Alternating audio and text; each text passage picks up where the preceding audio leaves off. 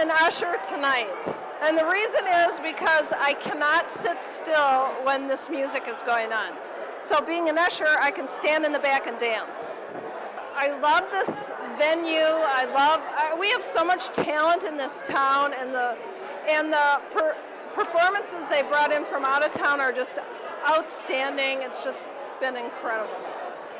Uh, I would like see people really support this Sondheim Center and just, you know, come over here and see what it's like, go to the performances, and just enjoy this town. This town is unbelievable.